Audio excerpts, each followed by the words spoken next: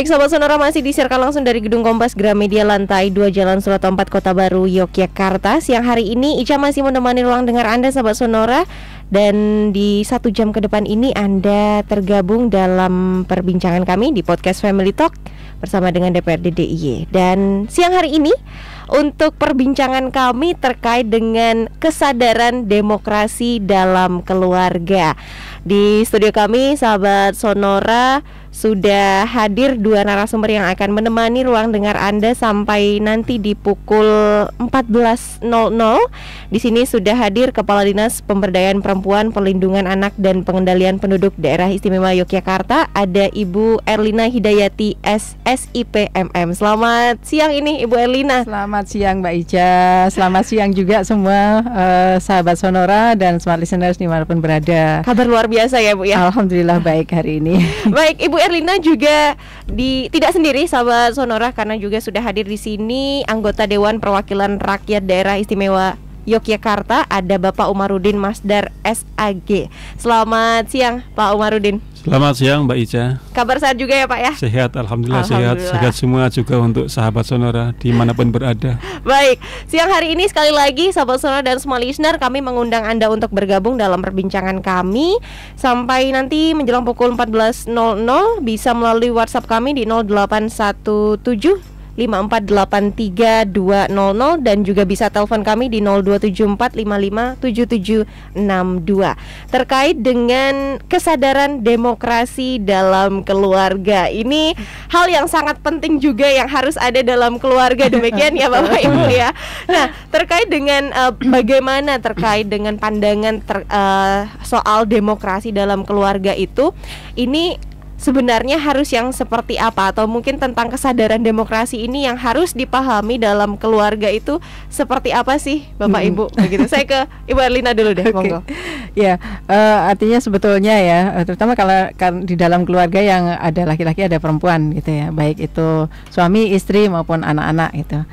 Uh, kesadaran untuk demokrasi memang sudah semakin baik dari waktu ke waktu gitu uh, dan juga partisipasi uh, perempuan baik itu istri maupun anak perempuan di dalam keluarga di dalam memutuskan kebijakan-kebijakan kesepakatan-kesepakatan dalam keluarga itu keikutsertaan mereka di dalam proses itu sudah semakin baik juga mm -hmm. gitu dibanding yang dulu-dulu gitu ya Uh, pertama memang kami selalu mensosialisasikan, mengadvokasikan terkait keadilan gender begitu ya, iya. terkait ketahanan keluarga juga, uh, di mana bahwa ketika semua diajak hmm. berperan serta, uh-huh. itu akan mendukung pada tercapainya apa yang diinginkan di dalam ketahanan keluarga itu. Jadi fungsi-fungsi di dalam ketahanan keluarga. Kemudian juga ikut mendukung pada kesehatan mental ya iya. anggota-anggota keluarga. Gitu.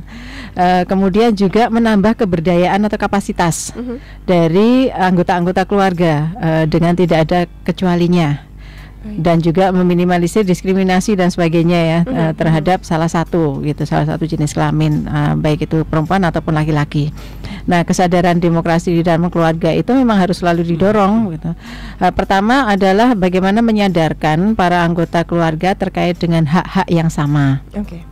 Nah, sehingga baik laki-laki maupun perempuan itu berperan serta di dalam membuat keputusan-keputusan di dalam keluarga. Uh-huh. Kita dorong juga keluarga-keluarga ini di dalam memutuskan segala sesuatu tentang keluarga itu juga melalui uh, proses-proses demokrasi itu, rapat misalnya ya, rapat uh-huh. keluarga. Kemudian juga uh, memutuskannya uh, ketentuan atau kebijakan atau keputusan apa pun itu tidak lalu uh, kemudian uh, dengan paksaan. Uh, tetapi setelah mendengarkan semua pihak gitu semua anggota keluarga kemudian ide-ide mereka masukan-masukan mereka kemudian diputuskannya secara musyawarah ya. uh, untuk mufakat tadi. Nah itu dari uh, yang paling kecil keluarga tadi. Nah kita harapkan nanti dengan kemudian tumbuhnya makin berkembangnya demokrasi di dalam keluarga itu akan berefek keluar dari keluarga ke masyarakat gitu. Uh, sehingga peran-peran dari keluarga ini itu juga semakin meningkat di dalam masyarakat. Nah, anggota keluarga di antaranya yang sering kali uh, jarang berperan keluar publik begitu, misalnya perempuan atau anak perempuan itu karena sudah berlatih di dalam keluarga, gitu, sehingga kemudian bisa makin pede gitu ya, makin berkapabilitas ketika kemudian nyemplung ke musyawarah yang lebih besar yeah. di luar keluarga, misalnya di tingkatan kelurahan uh -huh. atau dusun gitu ya yang paling dekat gitu, uh, atau RT yang paling yang paling terdekat dengan keluarga gitu, itu ikut serta di dalamnya sehingga uh, kami sih berharap kemudian uh, keikutsertaan di dalam musyawarah-musyawarah di tingkat masyarakat ini itu nanti akan semakin e, mendorong ke keputusan-keputusan yang memenuhi harapan semua okay, gitu ya. Keterwakilan itu kemudian bisa tercapai. Hmm. E, sehingga suara-suara yang tadinya tidak muncul kemudian bisa menjadi muncul. Hmm. Nah, nanti akan makin tinggi makin luas begitu ya ke peran serta di tingkat kabupaten, di tingkat provinsi dan yeah. sebagainya. Nah, memang dari latihan di dalam keluarga ini itu kemudian bisa berefek positif e, ke keluarga-keluarga ataupun lingkungan-lingkungan yang lebih luas lagi. Hmm. Baik, terima kasih Bu Erina. Mungkin dari Pak Umarudin ada uh, tambahan informasi atau mungkin punya ini ya pandangan tersendiri begitu Pak Umarudin terkait dengan demokrasi keluarga.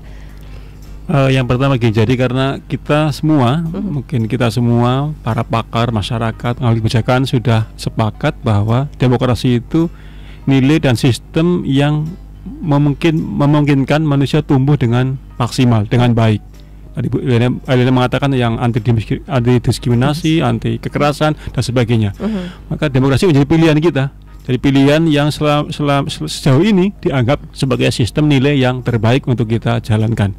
Dan demokrasi itu akan tumbuh dengan baik ya. jikalau itu juga di sektor terkecil yaitu dalam keluarga juga tumbuh pemahaman kesadaran tentang demokrasi. Mm. Karena demokrasi itu bukan sesuatu yang turun secara genetik, oh, enggak otomatis misalnya orang tuanya itu paham demokrasi anaknya otomatis maka perlu ada kesadaran demokrasi pendidikan demokrasi dalam keluarga biar keluarga sebagai unit terkecil dalam masyarakat itu mhm. juga menjadi sumber utama munculnya tumbuhnya nilai-nilai demokrasi maka mhm. itulah pentingnya kita membangun demokrasi dari lingkup terkecil di sektor keluarga, keluarga. Itu yang pertama yang kedua eh, kita bersama pemerintah daerah telah mengesahkan Perda nomor 7 tahun 2018 tentang pembangunan ketahanan keluarga yang di situ dalam pasal 5 disebutkan bahwa salah satu fungsi keluarga adalah fungsi untuk fungsi sosial budaya dan juga fungsi pendidikan. Mm -hmm. Dan itu keluarga akan berfung akan apa punya ketahanan yang baik, punya daya tahan yang baik jika fungsi itu berjalan. Mm. Dan fungsi itu akan maksimal jika dalam keluarga itu juga ditanamkan tumbuh nilai-nilai demokrasi. Misalnya tadi Bu Elena menyebut ada rapat keluarga uh-huh. atau musyawarah keluarga.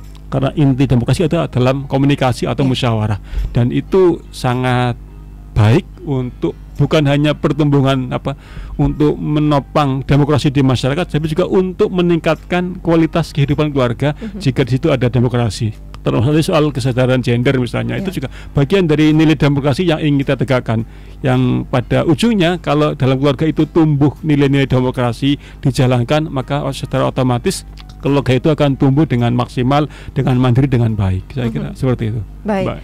Baik jadi memang dimulai dari unit terkecil dari hmm. keluarga, keluarga. Demikian. Khususnya hmm. tadi uh, sempat disebut terkait dengan gender begitu ya Bu ya. Jadi urusan cuci piring bukan hanya urusan perempuan begitu ya Bu ya. Makanya bisa dimusyawarahkan. Baik, tapi untuk saat ini begitu Ibu Erlina dan Pak Umarudin terkait dengan uh, keluarga-keluarga uh, yang khususnya di DIY sendiri begitu ya terkait dengan kesadaran demokrasi ini apakah memang pemahaman mereka sudah cukup baik atau mungkin uh, ada peningkatan atau mungkin seperti ya. apa begitu Ibu? Uh, paling dekat untuk bisa kita lihat ya yang kemudian sudah ada angkanya juga itu partisipasi uh, di dalam pemilu misalnya hmm. uh, itu jadi tadi setelah mendapatkan edukasi tentang demokrasi di dalam keluarga ya. kemudian kan uh, keluar ya ke publik salah satunya adalah yang bisa dihitung adalah uh, partisipasi di dalam pemilu. Hmm. Kalau kita lihat di pemilu tahun 2019 itu sudah 88 persen yang ikut serta di dalam pemilihan itu pemilu gitu ya nyoblos istilahnya. Nah dan di dalamnya juga ada perempuan-perempuan juga gitu banyak angkanya. Nah itu sudah menunjukkan uh, partisipasi para anggota keluarga ini ya di dalam uh, memberikan suaranya di dalam pemilu. Nah kita harapkan nanti makin meningkat ya kalau uh, 2019 itu 88 persen, semoga nanti yang pemilu ke depan ini bisa meningkat ya. partisipasinya. Nah kemudian juga uh, tapi ini juga harus dilihat juga ya bahwa 88% ini apakah kualitasnya memang sudah uh, bisa bagus optimal atau belum? Apakah di dalam memberikan suara misalnya itu sudah atas kesadaran dan pilihan pribadi ya. atau ngikut aja gitu ya atau didorong disuruh untuk milih uh, seseorang atau nomor tertentu begitu. Nah, itu juga belum bisa kita lihatnya kedalaman dari itu.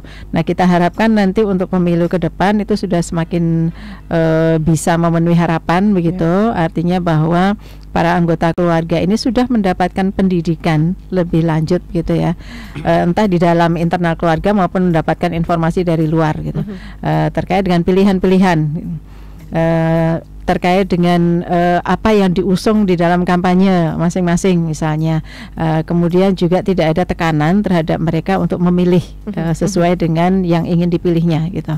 Uh, sehingga baik perempuan baik anak-anak dan sebagainya itu mendapatkan informasi atau akses terhadap informasi yang lebih lengkap yeah. sehingga kemudian bisa memutuskan uh, sendiri pilihannya tanpa tergantung dari pilihan orang lain begitu ya.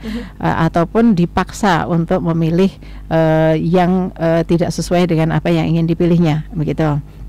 Nah itu penting. Nah di dalam demokrasi keluarga tadi, kalau kita lihat e, karena belum semua keluarga itu menjalankan demokrasi tadi ya, e, sering kali keputusan-keputusan itu e, manut dari kepala keluarga mm -hmm. gitu ya, atau kepala keluarga yang memberikan instruksi gitu. Mm -hmm untuk uh, menentukan pilihan apa gitu. Uh, semoga ke depannya uh, para anggota ini sudah semakin mandiri -huh. untuk bisa uh, apa memilih sesuai dengan apa yang diinginkannya. Nah harapan kami juga uh, pendidikan politik uh, bagi perempuan dan bagi anak, anak apa pemilih pemula yang masih usia anak itu juga dijalankan dengan baik begitu -huh. uh, sehingga kemudian uh, mereka bisa memilih secara mandiri. Oke. Okay. Baik, demikian ya sahabat Sonora. Nah, kalau Pak Umar sendiri terkait dengan uh, ini ya, keluarga yang ada di DIY sendiri terkait dengan kesadaran demokrasi, apakah juga sepandangan dengan Ibu Erlina nih atau mungkin punya pendapat berbeda? Saya kira sepakat dengan Bu Erlina mm -hmm. dan saya mm -hmm. menambahkan bahwa di di sekitar kita mm -hmm. itu ada banyak sekali kegiatan ruang yang memungkinkan orang masyarakat, anak muda, orang tua, anak-anak yang anak-anak itu belajar demokrasi. Yeah. Misalnya di kampung-kampung itu ada Karang Taruna yang hmm. tiap bulan ada pertemuan, ada pemilihan ke, kepala ketua Karang Taruna, ada pilihan RT, pilihan hmm. Pogiat macam-macam itu juga kelompok-kelompok lain yang yeah. mungkin juga yang di bawah di PDKB 2 misalnya kelompok perempuan rentan desa prima yeah. itu juga ada ada apa ya pembelajar demokrasi. Uh -huh. Kita artinya secara sosial ada model sosial model kapital sosial kapital yang sangat bagus untuk menumbuhkan demokrasi dengan masyarakat dan itu tersedia di sekitar kita. Yang pertama, yang kedua, ketika mereka bisa berkiprah di forum-forum seperti itu, menurut uh. kami berarti itu dalam keluarga mereka sudah ada nilai-nilai yang ditanamkan. Oh, okay. Misalnya nggak mungkin kan kalau anak ikut misalnya kegiatan anak karena taruna orang tuanya melarang oh jangan ikut iya. berarti ketika mereka nggak ikut berarti sudah ada ya paling nggak perintah atau izin dari orang tuanya bahwa itulah bagian dari kesadaran demokrasi yang sudah tumbuh di keluarga kita. Di samping soal partisipasi dalam pemilu. Kalau itu kan tiap lima tahun katakanlah. Tapi yang rutin tiap bulan ada pertemuan remaja macam-macam itu saya kira bagian dari pembelajaran dan pengkayaan demokrasi kita di masyarakat dan juga di keluarga. Iya, Baik. betul begitu. Meskipun masih banyak yang belum mewadahi ya hmm, hmm. partisipasi anak misalnya di dalam pembuatan keputusan misalnya di tingkat RT saja ya. E, biasanya rapat-rapat RT itu Uh, biasanya dihadiri oleh bapak-bapak. Iya, Kemudian jarang yang melibatkan ibu-ibu mm -hmm. begitu ya, yang mengundang serta dan diadakan malam hari gitu. Jarang sekali juga rapat RT yang melibatkan suara anak. Yeah. Ya anak-anak uh, itu dianggap kudu manut aja mm -hmm. gitu. Uh, padahal uh, kalau itu keputusan-keputusan meskipun tidak tampak sebagai keputusan yang nantinya akan diambil yang untuk anak gitu, tetapi untuk umum gitu.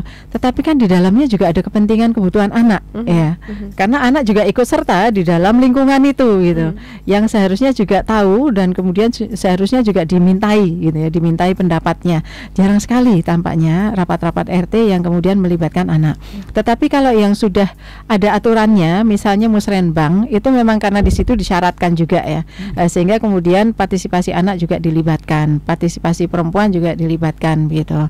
Uh, misalnya di tingkat uh, kalurahan uh, musren musrenbang kal gitu ya itu memang karena sudah ada aturannya regulasinya juga gitu uh, sehingga uh, kami uh, menghimbau juga biasanya kami advokasi juga uh, supaya uh, yang di lebih kecil dari musrenbang kalurahan ini misalnya di tingkat dusun di tingkat RT gitu itu juga memperhatikan uh, suara perempuan dan suara anak gitu di dalam memutuskan sesuatu. Jadi demokrasi itu harus memperhatikan semua semua uh, keterwakilan warga Oke, okay. baik. Demikian Sobat Sonora dan nanti akan kami lanjutkan perbincangannya di sesi yang berikutnya karena kita harus jeda dulu. Untuk Anda Sobat Sonora dan semua listener yang ingin bergabung dalam perbincangan kami juga masih kami persilahkan dengan tema siang ini yaitu kesadaran demokrasi dalam keluarga. Silakan bergabung melalui WhatsApp di 081754832000 dan juga bisa telepon kami di 027455776 662. Kami jeda sesaat, stay tune di Sonora FM dan Smart FM Yogyakarta.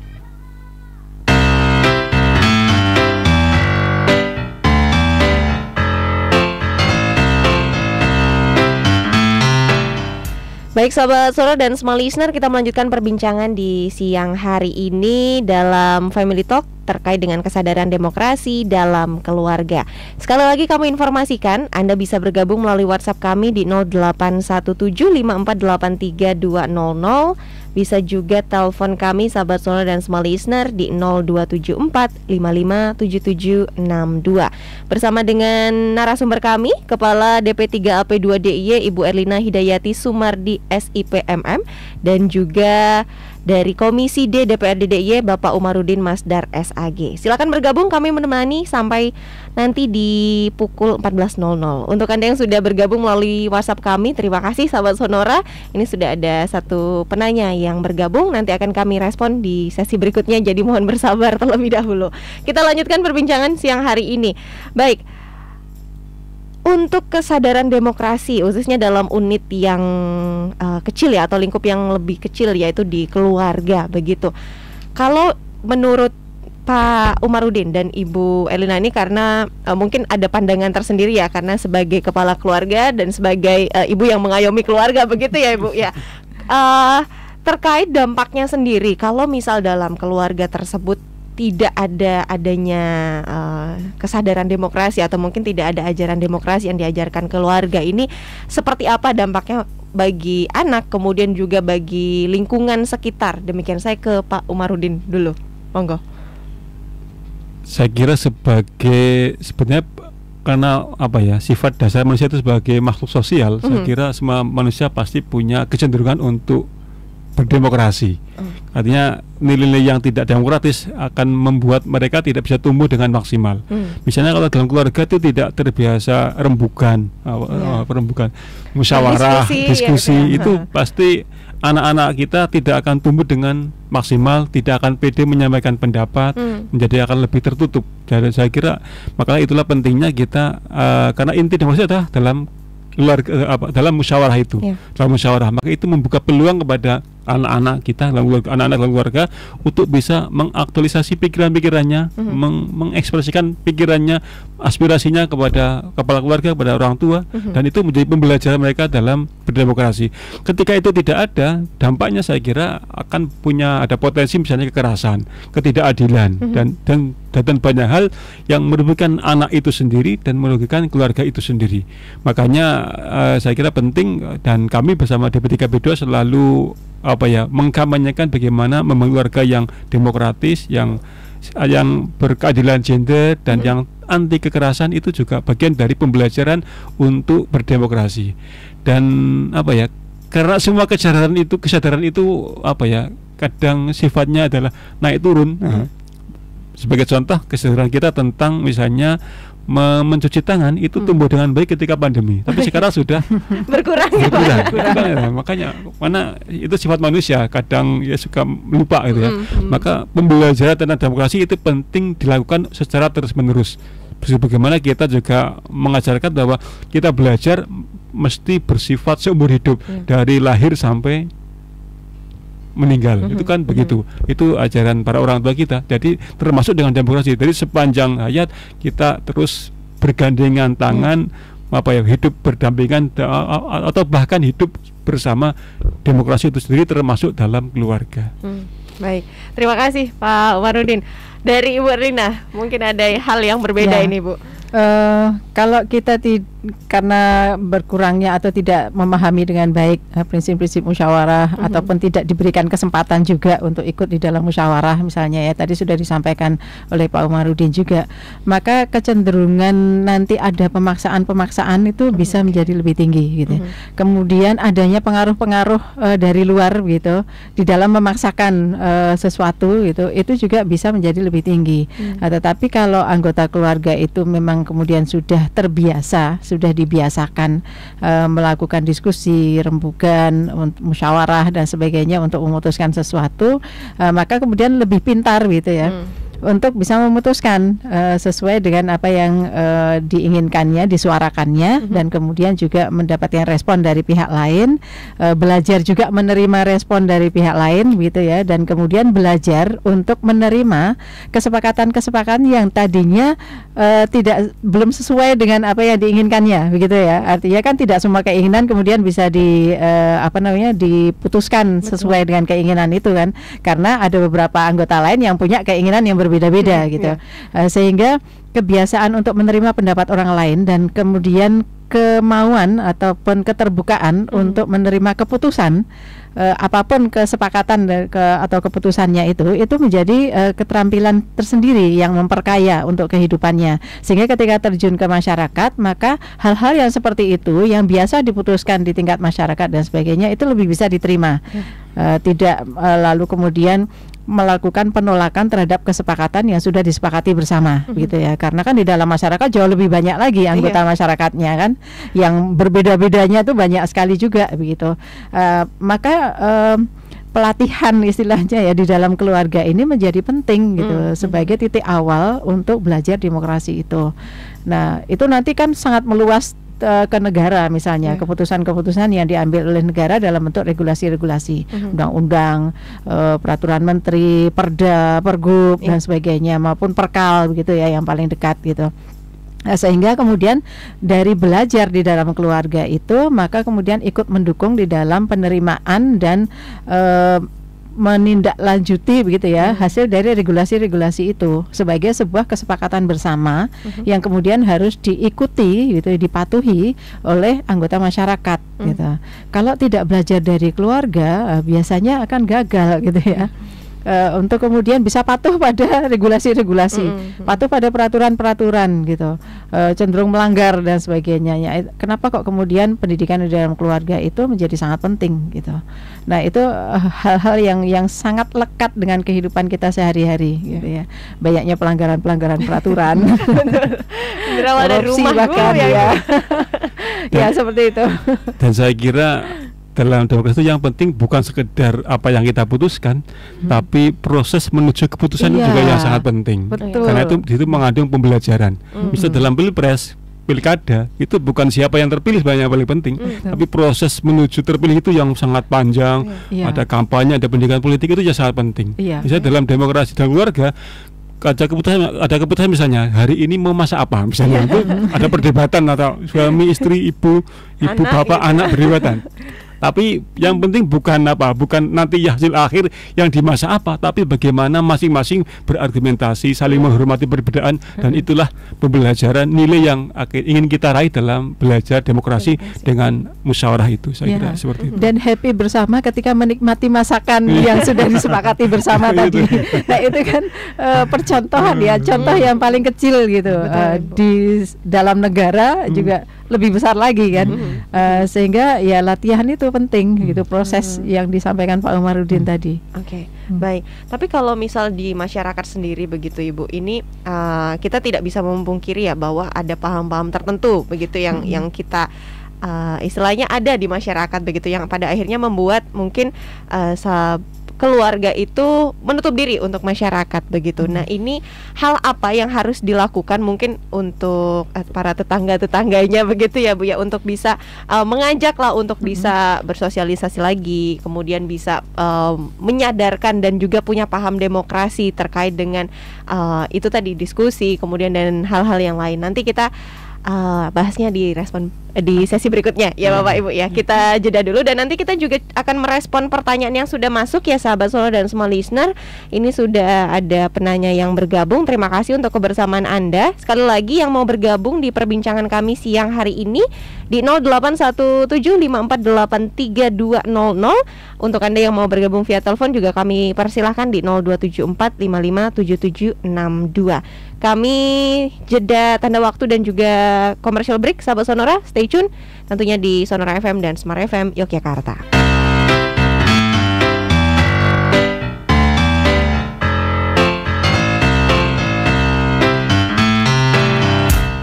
Baik sahabat Sonora dan semua listener, kita masuk di sesi yang ketiga. Jadi masih ada waktu untuk Anda yang ingin bergabung di 081754832000.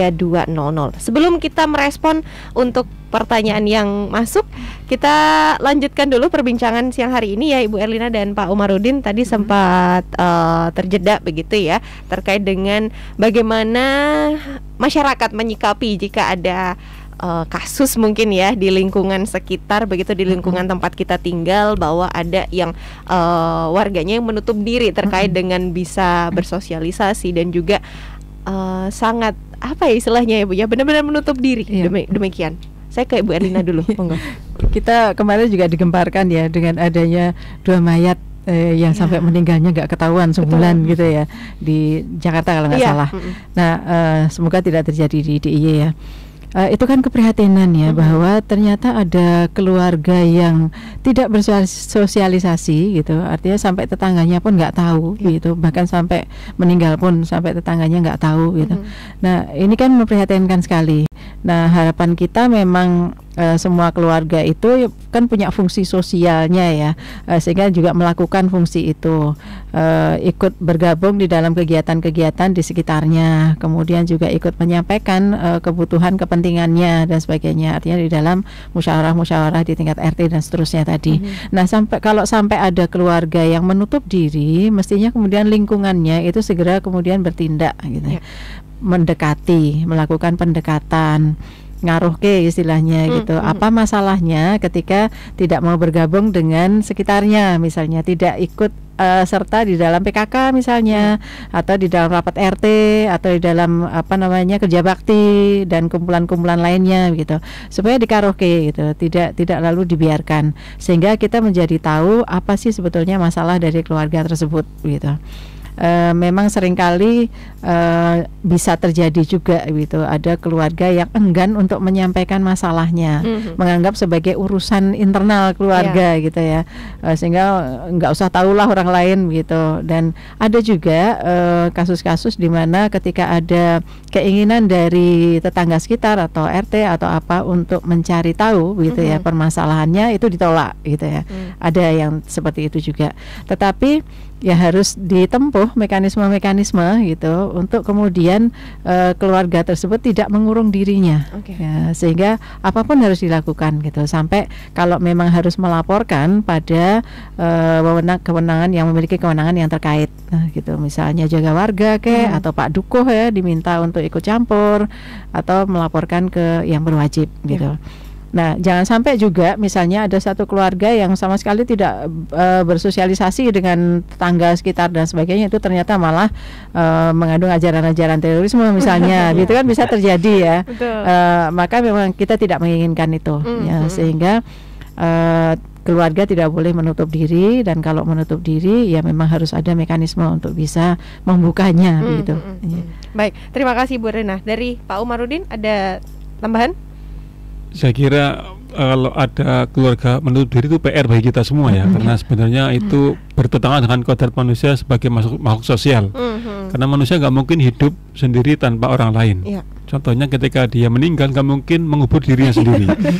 betul Pak, betul. pasti yang ngubur orang lain. Dan kamu yang yang yang ngubur mungkin juga bukan orang anaknya, pasti Ya, orang lain. Anaknya kan nggak tega. Hmm. Itu di antara. Yang kedua, saya kira kalau itu terkait dengan paham tertentu yang mungkin membahayakan banyak orang, saya kira ya kita punya punya mekanisme lah. Mhm. Eh, misalnya di banyak war kampung di banyak RT ada kebijakan kalau ada orang baru harus lapor Pak RT. Mm-mm. Kalau ada tamu Harus lebih dari juga. berapa jam lapor juga itu Mm-mm. bagian Ya. dari biar mereka tidak juga tidak menutup diri. Mm-mm. Saya kira itu yang kedua. Yang ketiga, kita harus memberikan juga pemahaman bahwa semakin kita bermasyarakat, semakin banyak keuntungan yang bisa didapat Ya. oleh Mm-mm. oleh kita semua baik untuk bersosialisasi maupun keuntungan-keuntungan lain yang mungkin ketika kita ketika ada masalah pasti akan bisa lebih terasa ada teman Hmm. yang membantu untuk mengatasi masalah Ya. karena dengan semakin bermasyarakat saya kira beban yang ditanggung keluarga akan semakin berkurang meskipun juga kadang juga bertambah malah misalnya sumbangan ya. tapi kan eh, nggak tiap hari Iya, Tapi iya. setiap hari misalnya kita butuh sesuatu. Tetangga kita nggak punya tetangga punya kita bisa saling Mhm. saling mengisi dan melengkapi. Saya kira itu pentingnya kita membangun kebersamaan. Dan itu akan semakin apa kuat kokoh ketika kita semua menyadari tentang pentingnya nilai demokrasi dalam keluarga dalam masyarakat sehingga hubungan kita antar masyarakat bisa saling melengkapi Mhm. dan saling menguatkan. Saya kira di situ poinnya Oke, ya, baik. jadi selama bersatu ketika masa pandemi Covid kemarin, Ya. jangan lalu kendor gitu Iya. ya. betul betul. Meskipun eh, masa pandeminya sudah lewat Mm-mm, gitu, mm-mm. tetap harus diteruskan apa guyup rukunnya Iya. gitu antar warga. gitu. Baik, tapi kalau ber- eh, ber- berkaitan dengan eh, pemerintah sendiri begitu, Ibu, eh, untuk saat ini upaya yang sudah dilakukan eh, khususnya Pemda DIY sendiri ya untuk bisa memberikan pendidikan eh, demokrasi untuk keluarga ini sudah sejauh apa upayanya begitu? Ya kalau kami dari DP3AP2 DIY ya artinya di Pemda sendiri kan tidak hanya kami dari Mm. dinas kami yang melakukannya, dinas lain pun juga melakukan gitu sesuai dengan porsi kewenangannya masing-masing. Nah eh, kami banyak melakukan seperti ini podcast, kemudian pertemuan langsung dengan masyarakat juga di Mhm. kelurahan-kelurahan gitu, Eh, kemudian melalui media-media sosial. Oke. eh, dan lain-lain begitu eh, untuk bisa melakukan pendidikan demokrasi itu Mhm. kepada keluarga dan juga kepada masyarakat. Nah, kemudian juga karena di ketugasan kami juga sangat terkait dengan sekolah ramah anak, maka juga masuk ke sekolah-sekolah. Eh, di antaranya adalah terkait dengan hak-hak anak, suara anak dan sebagainya. Itu juga proses eh, belajar demokrasi Mhm. gitu ya, yang kami laksanakan terjun ke sekolah-sekolah eh, bekerja sama dengan dinas pendidikan. Nah, seperti itu. Nah, dalam rangka untuk eh, demokrasi yang lebih menjurus pada politik begitu ya, Mhm. untuk eh, pemilu besok begitu. Memang kami juga banyak mengedukasi masyarakat eh, supaya jangan jadi eh, golput gitu ya. Ya, Artinya menggunakan suaranya Mhm. benar-benar di dalam eh, eh, pilihan legislatif besok. Kemudian juga eh, supaya bisa eh, lebih baik lagi di dalam mengakses informasi. Kami juga bekerja sama dengan lembaga-lembaga yang terkait. Kemudian bagaimana ikut eh, bersama-sama untuk mengawasi juga begitu ya. Eh, kemudian juga kami mendorong eh, perempuan sudah sejak berapa lama mendorong perempuan untuk ikut serta di dalam pemilihan legislatif Mhm. gitu Eh, sebagai caleg gitu. Iya. Eh, termasuk di antaranya bekerja sama dengan KPPI, Kaukus eh, Perempuan Parlemen Indonesia yang DIY gitu, untuk meningkatkan eh, kemampuan eh, dari para caleg eh, perempuan gitu. Kemudian juga eh, bagaimana supaya para perempuan itu juga menggunakan suaranya di dalam pemilihan, Mhm. termasuk eh, anak-anak eh, pemilih pemula gitu. Eh, jadi kami sangat berharap eh, tidak ada golput begitu ya. Mhm. Uh, kemudian juga kami uh, banyak melakukan edukasi uh, supaya tidak termakan hoax, misalnya tidak menyebarkan hoax dan sebagainya. Artinya supaya situasi uh, kondisinya itu uh, relatif lebih baik begitu uh, ketika masa pemilihan nantinya, Mhm. masa kampanye dan masa pemilihan. Mhm. Um, ya banyak yang kami lakukan terkait dengan itu. Baik, terima kasih Bu Erlina. Ada tambahan dari Pak Umarudin? Jadi kalau dari sisi kuantitasnya, saya Mhm. kira pemerintah bersama kami sudah sangat banyak memberikan apa ya alur bagaimana kita mau nggak mau harus menempuh sistem demokrasi. Ya. Misalnya sebagai contoh yang paling sederhana, ketika ada usulan warga yang ingin masuk ke DTKS itu misalnya itu itu juga harus melalui namanya muskal diputuskan di muskal itu mau nggak mau harus pakai musyawarah kelurahan misalnya Yeah. untuk putus itu kan memaksa kita lewat mekanisme yang demokrasi Hmm. ya itu banyak misalnya terus para partai politik diwajibkan ada affirmative action untuk minimal 30% perempuan caleg. Itu Hmm. secara, secara kuantitas sudah kita tempuh secara norma sudah kita tempuh bagaimana kita terus mendukung apa apa demokrasi di negara kita. Yang sebenarnya adalah tinggal soal kualitasnya. Kita memperkaya bagaimana kualitas demokrasi ini bisa lebih baik dan lebih baik tadi kayak kata Bu Elina misalnya jangan ada hoax lagi jangan ada kebencian jangan ada fitnah dan sebagainya biar demokrasi ini tumbuh dengan Baik baik, ya. dengan Mhm. men- mematangkan dan mendewasakan pemikiran masyarakat. Saya itu tugas kita hari ini dan ke depan untuk di level itu saya kira. Oke, baik terima kasih terima kasih Pak Umarudin. Ini kita coba respon untuk pertanyaan yang Iya. masuk ya Bapak Mhm. Ibu. Selamat siang. Ini dari 08217414 sekian sekian sekian dengan pertanyaannya Bapak Ibu punten izin bertanya, apakah sudah ada ya kurikulum terkait pendidikan demokrasi dalam lingkungan sekolah? Demikian ini. Monggo. Kalau pendidikan demokrasi dalam lingkungan sekolah pastinya sudah lama ada ya. Mhm. Eh, PPKN salah Hmm. satunya. Kalau sekarang nama mata pelajarannya apa ya PPKN? Semoga masih itu. Ya artinya eh, di situlah diajarkan gitu. Kemudian juga selain dalam bentuk mata pelajaran ya. Mhm, mhm. eh, eh, berdemokrasi itu atau bermusyawarah dalam mencapai mufakat itu juga dilakukan di dalam organisasi-organisasi di sekolah, misalnya dalam pemilihan OSIS, Mhm. kemudian dalam penentuan kebijakan sekolah dan Mhm. sebagainya yang kemudian juga melibatkan suara dari siswa begitu. Eh, saya kira banyak yang yang dilakukan di sekolah dalam rangka pendidikan demokrasi. Mhm, mhm. Baik, demikian ya. Ada tambahan dari Pak Umarudin? Saya kira tadi saya menyampaikan bahwa demokrasi itu sesuatu yang harus kita anut, kita pelajari dari kecil sampai dewasa, sampai tua. Hmm. Dan saya kira di sekolah saya setahu saya sudah sejak du- awal sejak SD pasti sudah dikenalkan dengan demokrasi. Kalau zaman saya dulu masih ada namanya PMP.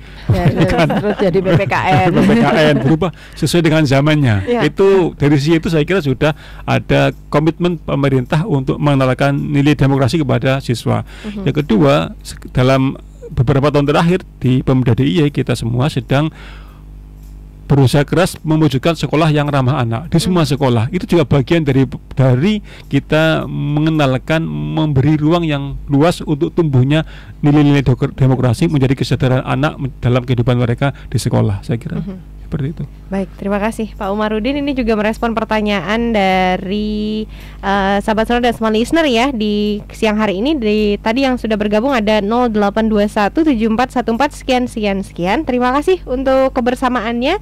Dan selanjutnya sahabat sonora pertanyaan berikutnya ini ada dari sebentar saya cek nomornya dulu. Ada dari 08122763 sekian sekian sekian dengan pertanyaannya ini kadang kan di lingkungan keluarga itu ada anggota keluarga kita yang susah banget untuk diajak istilahnya rembukan begitu atau egois. Ada saran atau tidak nih Bapak Ibu terkait eh, hal tersebut Iya. demikian. Jadi memang manusia macam-macam ya.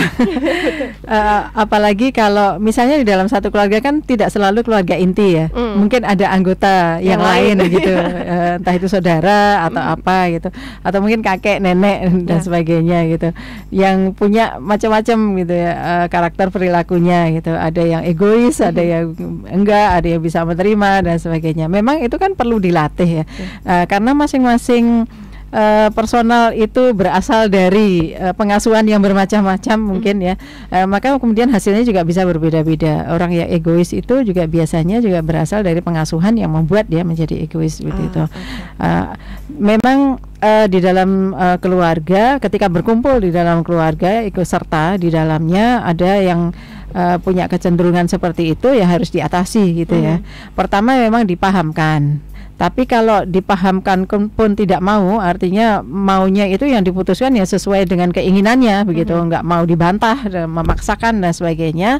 Ya sangat penting untuk kemudian ada uh, keterlibatan pihak lain gitu ya untuk kemudian bisa memahamkan ke, uh, pihak lain itu bisa saudara yang lebih tua dan sebagainya yang lebih berpengaruh bisa juga atau meminta tokoh uh, sekitar gitu ya tokoh masyarakat sekitar gitu untuk bisa memahamkan. Kalau tidak pemerintah juga sudah menyiapkan kok hmm. uh, tenaga profesional untuk bisa membantu keluarga-keluarga yang mengalami permasalahan seperti ini hmm. gitu. Kami menyediakan yang namanya telekonseling sahabat anak dan keluarga. Yeah. itu secara telekonseling gitu ya. Bisa melalui WA bisa melalui media sosial gitu bisa telepon langsung begitu bisa. Tapi juga bisa datang langsung untuk berkonsultasi berkonseling gitu ke pusat pembelajaran keluarga mm -hmm. atau puspaga. Di semua kabupaten kota ada tinggal yang mana yang terdekat dengan rumah ya. Mm -hmm. atau di tingkatan DIY juga ada Nah, jadi gampang sebetulnya ya. Uang telepon pun bisa, WA pun bisa yeah. begitu. Uh, atau datang langsung tadi mm-hmm. untuk berkonsultasi atau berkonseling uh, gitu. Yang tadi egois sekali nggak mau berubah pendapatnya dan sebagainya, tidak mau menerima hasil keputusan dan sebagainya, itu bisa diajak serta untuk berdiskusi, berkonseling, berkonsultasi gitu ya kalau perlu bahkan kalau uh, mungkin agak sudah banget gitu ya yang mengganggu yeah. Iya. uh, mengganggu keharmonisan gitu bisa juga kemudian diikuti dengan terapi perubahan perilaku mm. gitu ya karena itu mungkin sangat terkait dengan kesehatan mentalnya yeah. yang tidak baik-baik saja gitu ya sehingga tidak bisa menerima pendapat orang lain misalnya mm. gitu atau eh, hal-hal uh, lain yang perlu diatasi secara psikologis hmm. atau mungkin sangat bisa juga oh ternyata itu adalah sakit kejiwaan uh, sangat sangat mungkin kan itu yeah. tidak terjadi uh, maka nanti rekomendasi dari uh, konselor psikologi atau psikolognya seperti apa apakah perlu untuk mengakses ke psikiater atau tidak dan mm-hmm. sebagainya mm -hmm. seperti itu jadi jangan dibiarkan uh, mengganggu gitu ya keharmonisan keluarga tapi carilah kemudian pertolongan bantuan oh. Baik, terima kasih Bu Erlina. Ada tambahan mungkin atau uh, respon yang berbeda nih dari Pak Umarudin? Saya kira saya ada dua hal yang ingin saya saya sampaikan. Yang pertama, ketika ada masa seperti itu, saya kira uh -huh. itu bagian ujian kita untuk mendewasakan diri. Okay. Karena kalau tidak ada tantangan, pasti kita tidak akan mengalami pematangan dan uh -huh. pendewasaan ada pepatah nelayan tangguh tidak lain dari ombak yang tenang. Iya. Kalau ada tanah, nggak ada tantangan kita nggak akan tangguh tangguh nanti. Hidupnya gak, flat ya. Flat aja. Itu yang pertama. Yang kedua, saya kira karena inti demokrasi itu kan menghargai perbedaan pendapat mm -hmm. dan semua harus dihargai. Ketika tidak mencapai titik temu, maka tidak ada musyawarah yang bisa mencapai titik temu, maka dipakailah pendapat yang paling dominan, yang paling yeah. banyak. Dan kita itu intinya menghormati perbedaan belum tentu yang kita cap egois itu egois. Jangan-jangan yang sini yang egois kan gitu. Contoh yang paling aktual kasus misalnya sekarang ada kasus rempang. Itu kan. Hmm. kan dari sudut pandang masyarakat mungkin pemerintah egois. Yeah. dari, dari sudut pemerintah masyarakat yang nggak mau itu kan bagaimana terus pentingnya terus berdialog. Mm, dan semakin mm. banyak dialog saya kira semakin kita dewasa masyarakat dewasa pemerintah juga dewasa. Mm -hmm. jadi kalau dalam keluarga bisa seperti itu saya kira nanti semua akan dalam kondisi apa pun akan mengalami pendewasaan dan pematangan pikiran jiwanya dan itu akan sangat baik untuk tertanamnya nilai demokrasi. Baik. Ya. Jadi semua orang harus mengalami proses itu sehingga menjadi lebih dewasa tadi. Ya, Baik, terima kasih Pak Umarudin dan Ibu Elina. Ini tadi merespon uh, pertanyaan yang masuk ya. Terima kasih sekali untuk Anda sahabat Solo dan small listener yang sudah bergabung di perbincangan kami siang hari ini dan kami akan lanjut di sesi yang terakhir. Jadi stay tune sampai nanti di penghujung perbincangan kami ya sahabat sonora dan small listener sampai nanti di pukul 14.00 dan pastikan Anda terus bersama untuk uh, podcast siang hari ini.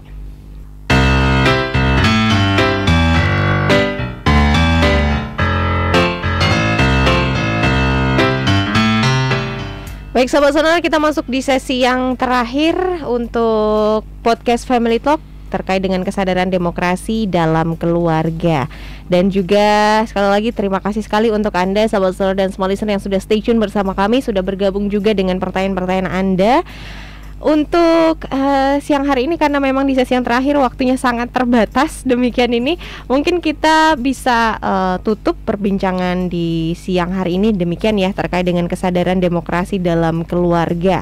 Sebagai statement closing saya mungkin ke Ibu Erlina dulu. Monggo Ibu. Ya, artinya kami selalu menghimbau ya mari kita bersama-sama gitu mengembangkan demokrasi di dalam keluarga. Artinya uh, musyawarah untuk mencapai mufakat itu hmm. melalui proses-proses yang baik gitu di dalam hmm. keluarga.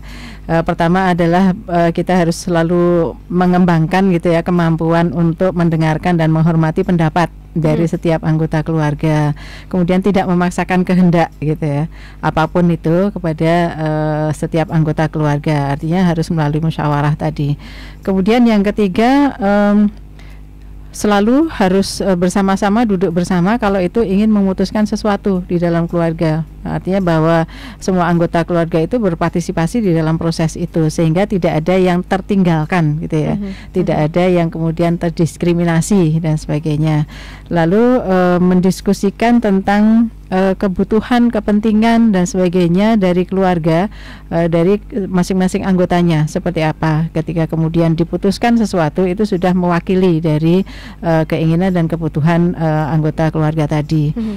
Kemudian juga e, dibiasakan untuk punya waktu gitu ya di dalam keluarga itu untuk ngobrol ngobrol bersama gitu apalagi kalau itu ingin memutuskan sesuatu ya. e, itu wajib istilahnya ya lalu uh, saling membantu uh, di dalam memenuhi amanah dari keputusan itu gitu. Uh, kalau ada anggota keluarga yang memiliki kekurangan atau kelemahan di dalam melakukan uh, kesepakatan itu, maka kemudian saling dibantu uh -huh. uh, sehingga kemudian uh, bisa memenuhi keinginan bersama secara baik. Gitu. Uh -huh. uh, kemudian juga uh, selain itu uh, tidak melawan pendapat gitu artinya uh, harus selalu memenuhi apa yang sudah menjadi kesepakatan bersama tidak melawannya ya. atau uh, uh, sehingga uh, apa yang sudah diputuskan itu bisa dijalankan secara baik mm -hmm. gitu mm -hmm. itu mungkin mbak yang yang memang uh, harus selalu dilakukan diajarkan di dalam keluarga uh, sebagai salah satu proses pendewasaan diri tadi yeah. di iya. dalam berdemokrasi sehingga nanti kalau sudah keluar rumah gitu uh, itu sudah membawa kebiasaan-kebiasaan baik itu mm -hmm. gitu uh, ketika nyemplung ke musyawarah yang lebih luas lagi gitu. Baik, terima kasih Ibu Erlina. Dari Pak Umarudin sebagai statement closing. Yang pertama saya kira keluarga itu kan terdiri dari beberapa kepala. Ya. Punya kepala ini lah. kan isi kepalanya kan macam-macam. Betul. Pikirannya macam-macam, tujuannya macam-macam, hobinya macam-macam, ya. ke mana mau macam-macam. Itu saya kira dan beragam pemikiran aspirasi keluarga itu hanya akan mungkin tumbuh dengan baik ter apa ya terkeluar dengan baik jika ada kesadaran demokrasi untuk mengelolanya. Kalau hmm. tidak pasti akan ada isi kepala yang dikalahkan dan sebagainya atau di ditindas dan sebagainya. Hmm. Makanya penting sekali tadi kata Bu Elina, ayo kita belajar demokrasi dari dari dalam keluarga. Ya. Dan itu akan juga berdampak bagaimana kita berdemokrasi di tengah masyarakat. Karena yang kedua, karena tema kita adalah bagaimana menumbuhkan demokrasi di keluarga, mm-hmm. maka saya menyarankan bagi yang sudah waktunya berkeluarga, silakan berkeluarga. Biar bisa berkontribusi untuk menyumbangkan demokrasi mulai dari level keluarga. Jangan-jangan Mbak Ica ini tersentuh. uh, Alhamdulillah saya sudah. sudah. Alhamdulillah. Baik, terima kasih Pak Marudin, terima kasih Bu Erlina untuk siang hari ini hmm. untuk informasi uh, terkait dengan kesadaran demokrasi dalam keluarga dan semoga ini juga bisa menjadi pembelajaran kita bersama ya sahabat hmm. dan semua listener.